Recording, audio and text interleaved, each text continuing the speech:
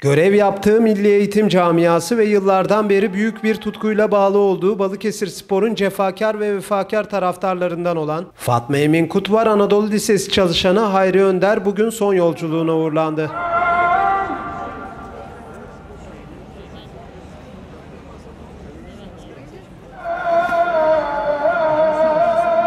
Pazar akşamı yüksek tansiyona bağlı olarak beyin kanaması geçiren ve Atatürk Şehir Hastanesi'ne kaldırılan Hayri Önder, tüm müdahalelere rağmen dün sabah saatlerinde vefat etti.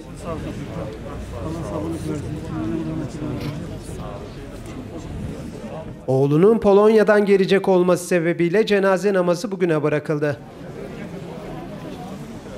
Önder'in naaşı bugün ilk olarak yıllarca görev yaptığı Fatma Emin Kutvar Anadolu Lisesi'ne götürüldü. Çalışma arkadaşları ve öğrencilerden helallik alınmasının ardından ikindi vakti kılınacak cenaze namazı için Zanospaşa Camii'ne getirildi.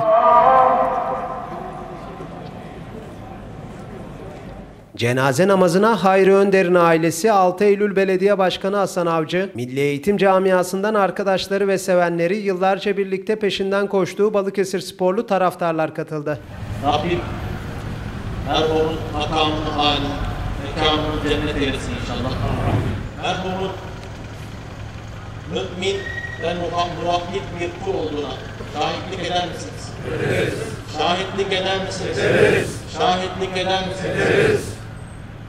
Merhuma dünyaya ve ahirete mutallik haklarınızı helal ediniz. Helal olsun. Haklarınızı helal ediniz. Helal olsun. Haklarınızı helal ediniz. Helal olsun.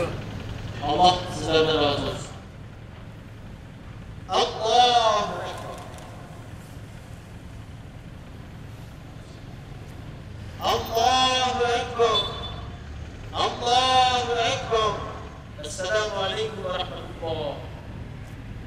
Cenaze namazının kılınmasının ardından Hayri Önder'in cenazesi Başçeşme Mezarlığı'nda toprağa verildi. Abi.